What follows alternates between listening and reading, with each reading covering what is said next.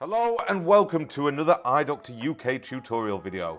In this video, I will show you how to safely remove and replace the charging port on an iPhone 7 Plus. To carry out this job, you're going to need the following things. A new charging port, I always recommend buying the best quality you can here. Ideally, it's going to be an original pulled part. A pentalobe screwdriver, crosshead screwdriver, tri-point screwdriver, a razor blade, a guitar pick, some fine tweezers, and finally a small amount of isopropyl alcohol. As always, I will link all the tools and equipment you need for this job in the description below.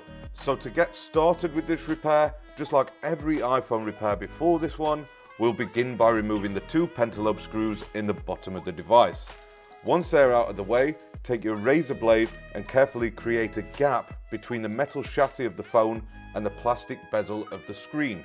Once that is loosened, you can lay the phone flat and open it up like you would open a book from the back page. Prop something behind that to stop it from falling over and stretching the cables there. Now we're inside the phone, take your tri-wing screwdriver and remove the four screws holding down the screen and battery flex cable, then take your guitar pick and disconnect first the battery to isolate power from the device, followed by the two screen connectors.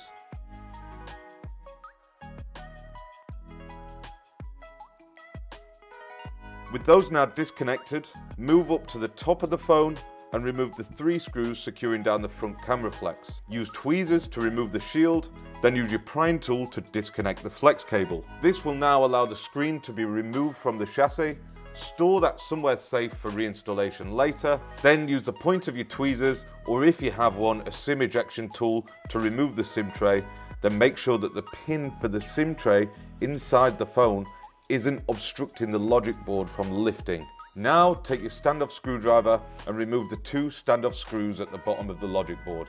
Then with your prying tool, disconnect the charge port flex cable and using tweezers, disconnect the two coaxial cables. Moving on now to the loudspeaker, remove the two screws at the top of the speaker and store them safely, then repeat on the bottom three screws. These are all crosshead screws, but most are different sizes, so it's important to store these neatly while you work, so there's no confusion when you're reassembling the device later.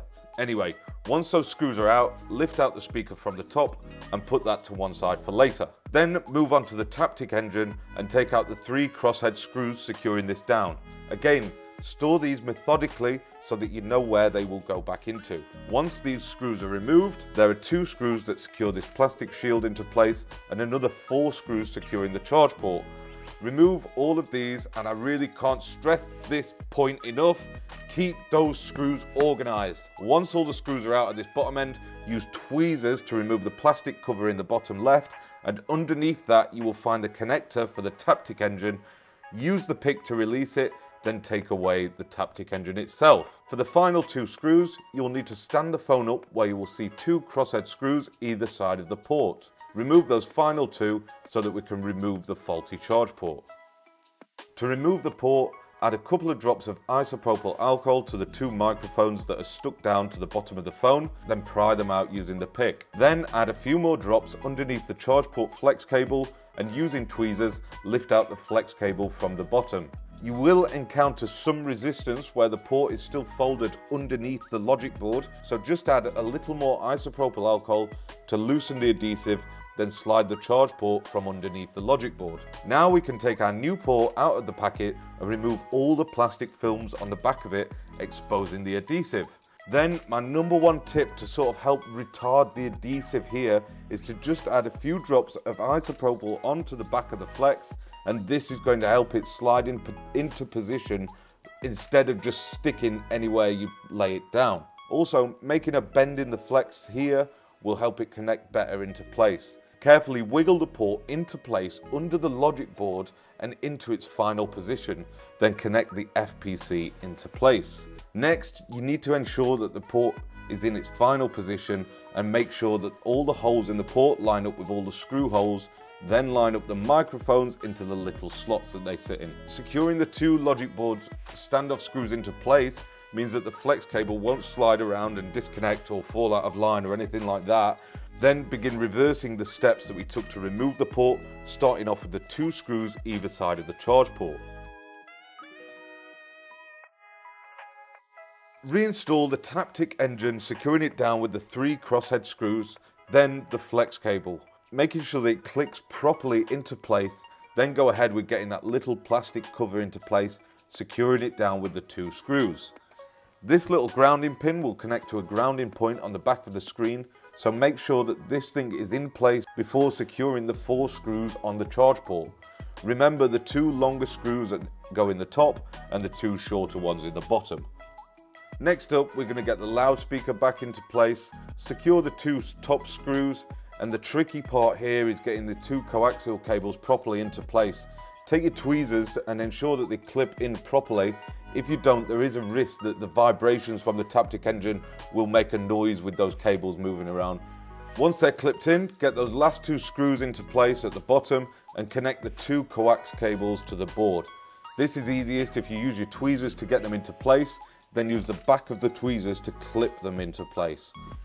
Before reinstalling the new screen, it's important to remove any old adhesive still on the chassis. Use tweezers to remove the bulk, then take your new adhesive and secure it into place on the chassis of the phone.